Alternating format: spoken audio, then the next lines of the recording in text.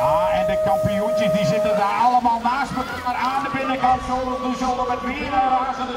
Van die op de toekommer, de Hildes op de toekommer, maar dat is Justin. Justin hier aan de leiding, het Dream Team op 2, de Kevin van nu op 3. Naar de 1, jij komt die aan uit de 23.